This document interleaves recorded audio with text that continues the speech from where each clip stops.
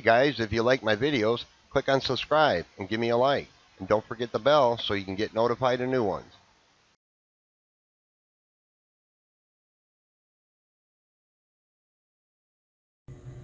Hey everybody, how's it going? Dale here.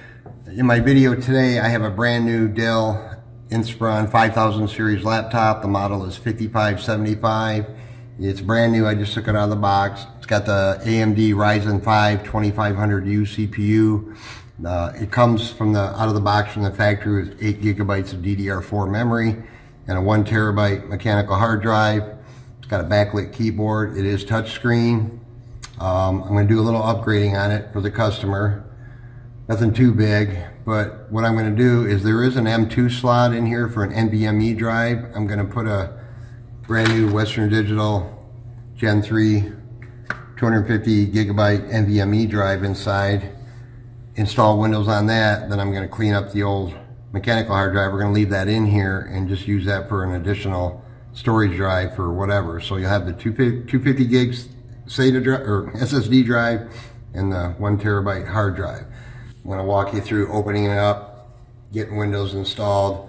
Um, what I'm going to do is a clean install when I'm all done on the new SSD.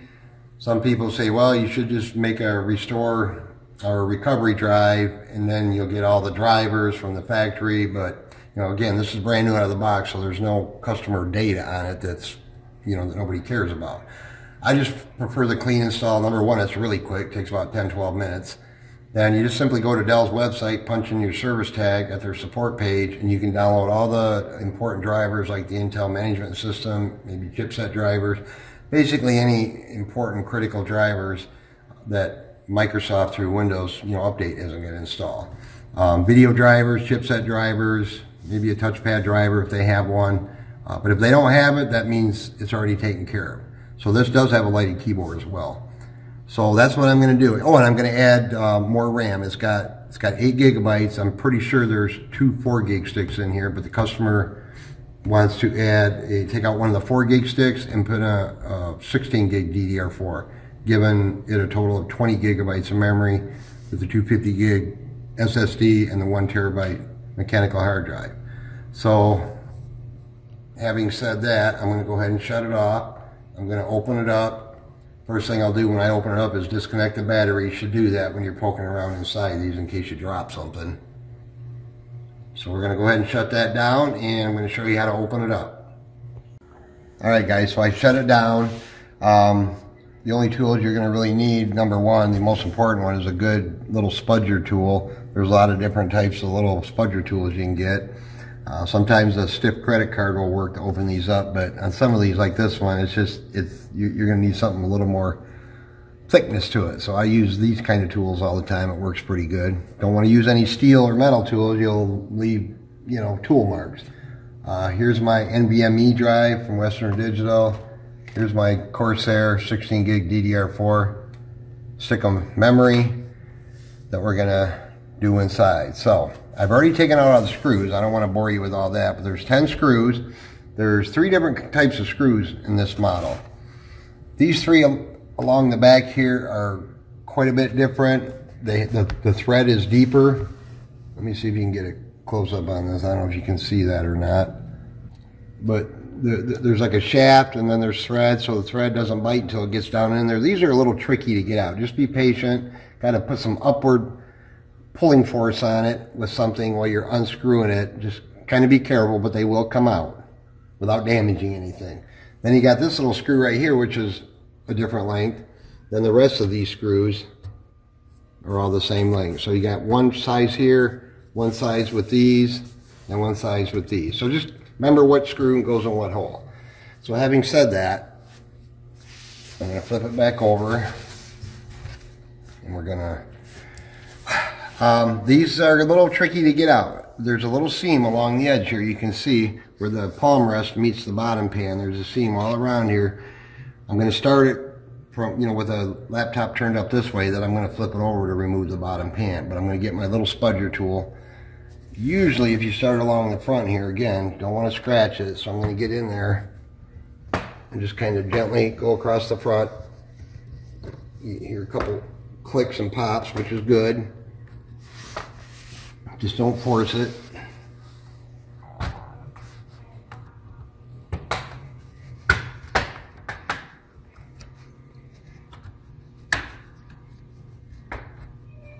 So you can see that I got it kind of started along the side and the front. Try to get a little bit over here.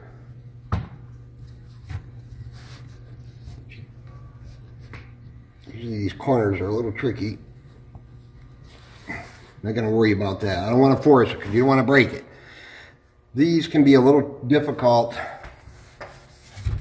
along this back edge here, so be patient. You know, I use, sometimes I use a little tool like this to get in the back to kind of work it from one end to the other. Again, just got to be patient and go slow, but it will it will come free. So, oop, let's flip it back over. Sorry. But now that I've got it started here, you can see how it's opened up. Usually, if I grab the corner and put a little little upward pressure on it, not too much, and I kind of hold it up. I'm going to get my tool back in here. There. So kind of, well, this one, usually they're pretty stiff back here, but this one came right up with no problem, okay?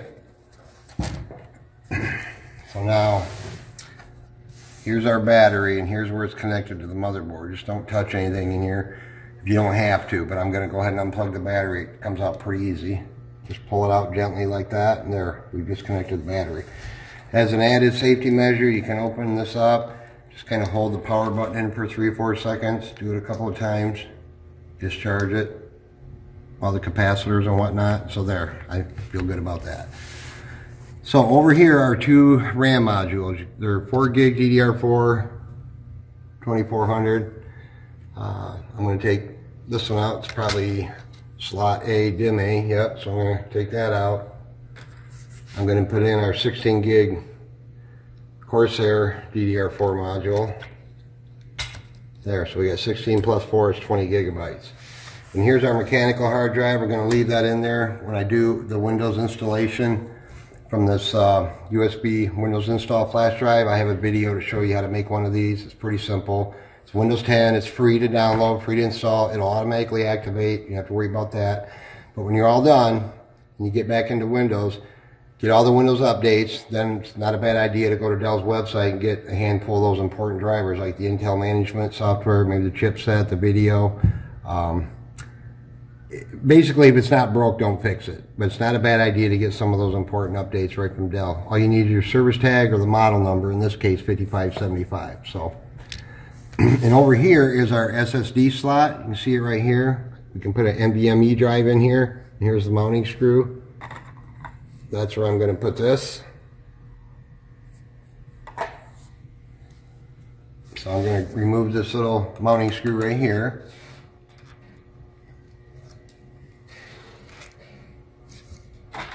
Careful when you handle these, not a good idea to touch the little prongs, the pins at the end here if you can help it. Same with the RAM, just be careful.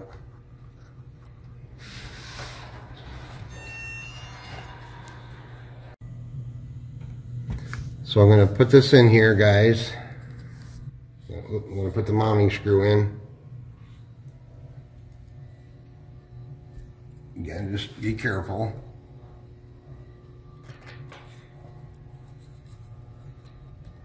I'm using a good quality Phillips screwdriver, magnetic tip. It's a number zero Phillips bit. For most of these, all laptops, a zero, number zero works just fine. So we got the new NVMe drive in there. We're going to leave the mechanical hard drive in here, the one terabyte. I'm going to clean that all up before I start installing the Windows on the new solid state drive because uh, we're going to do a, a clean install with our flash drive. So we got the extra RAM in there. I got that installed. We're going to hook the battery back up. They don't have a spot in here for, you know, anything else other than what you got here, the, the mechanical drive, the SSD. You know, you could put another 16 gig stick of RAM in there, but the customer just wanted to go up to 20, so that's what I'm going to do.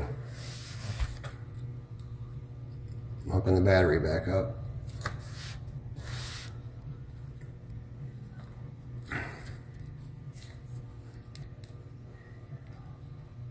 All right, so we got battery connected.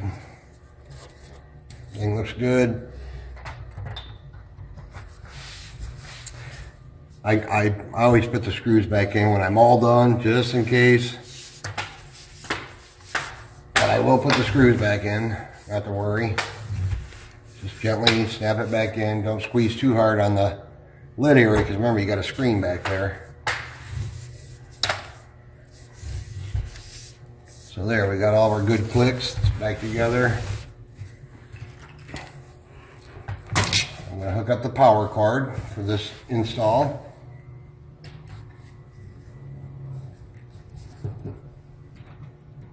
Now remember, we have, if I boot this up right now, I'll boot right up off the mechanical hard drive because that SSD, nothing's been done to it yet. But we're going to take care of all that when I boot off the flash drive. Um, again, I just prefer clean installs. I get necessary drivers. Um, that's just the way I like to do it, and it works great. Then you can install your apps and programs, and you're, you're all set to go. So I'm going to open it up, and I'm going to be getting the Windows install. All right, guys. So I'm going to put in my Windows 10 installation installation media here into my USB port. Don't matter which one. And turn it on. Immediately, I'm going to start tapping the F12 key on this Dell to get to the boot menu because we don't want to boot into Windows. Just keep tapping it.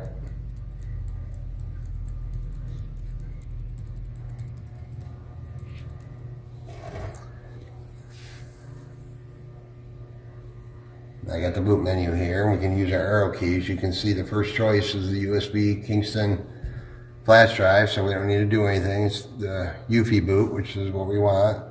Just hit enter. Then we're going to choose Windows 10 64-bit setup. Just hit enter. It's going to load the necessary files.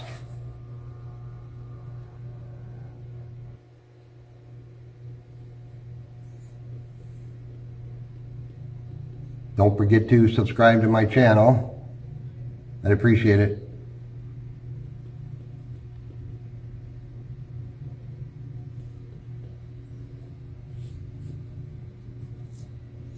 Right, don't need to change anything here. US English for me. Click install now.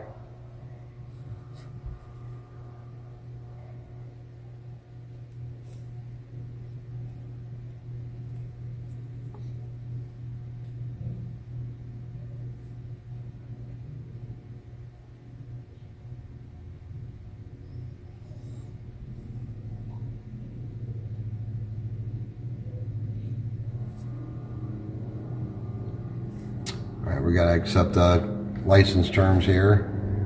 Click next. Now we're going to go, you got upgrade? No, we're going to go to custom. Now here's all our different partitions on our existing factory drive. So basically we're just, the last one down here where it says 232.8 primary, that's our new SSD. So we're just, I'm just going to go down through and delete all these partitions off that hard drive. Again, this is a brand new laptop. There's no important date on it. If you were doing this on a computer you've used for a while, make sure you back up all your data in your user account before you do any of this. But again, if, when you're all done, you can go to Dell's website. If you want to install their Dell Support Assist and all that Dell proprietary junkware, in my opinion, go for it. It's not going to hurt a thing.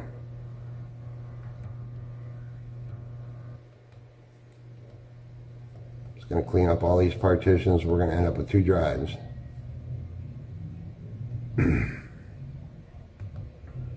okay, that's good. hit delete. So now we got two drives. The first one is the one terabyte mechanical drive. Then this one here is our SSD. That's where we're going to install one. Is just choose it and hit next.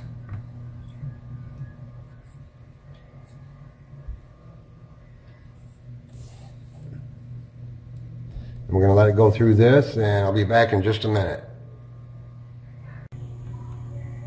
Alright guys, we've installed Windows Okay, don't let me hold you up. up our Just flash drive. You don't need this in the. USB port anymore.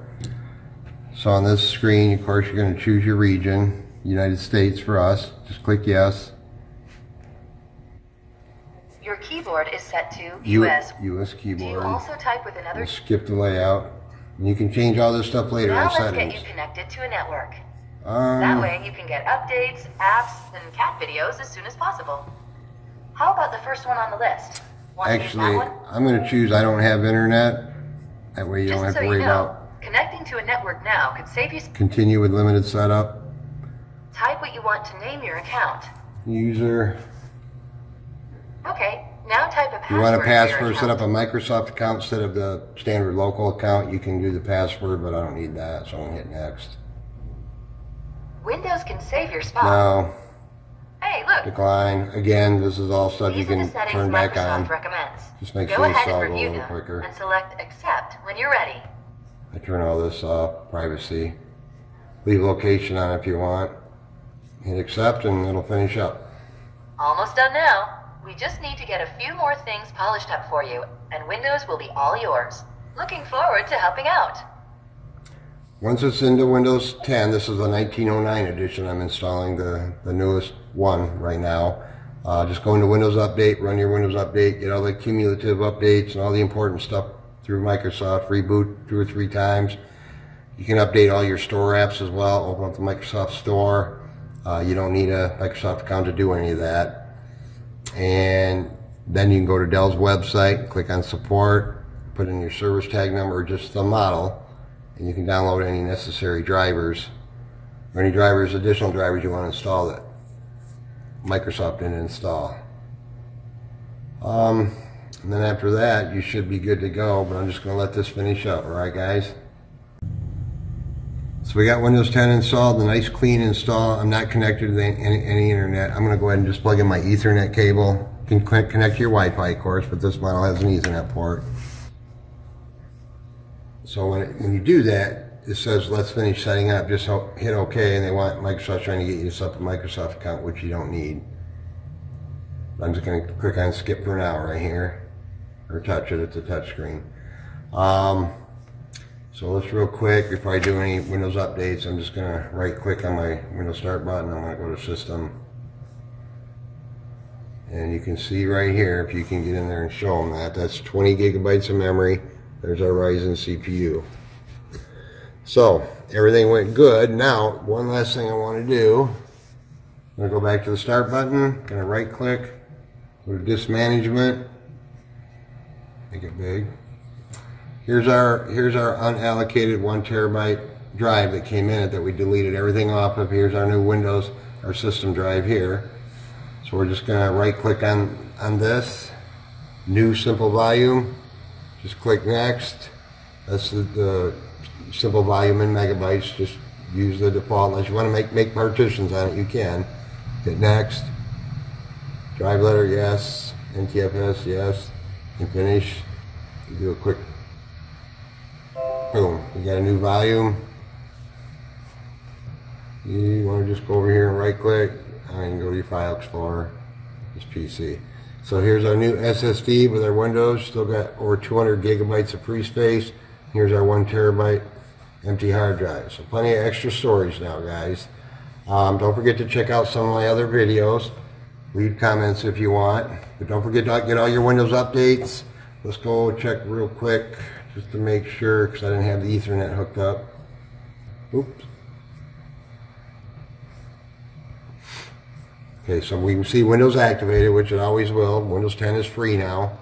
Um, so pretty much the last step, guys. So get all your Windows updates, several rounds of those, and go to Dell.com, go to support, go to view all support. Just type in the Inspiron model number, and boom, you can get any extra uh, additional drivers that you want to get, and you should be should be good to go. I appreciate you all watching. Um, don't forget to subscribe, and have a great day.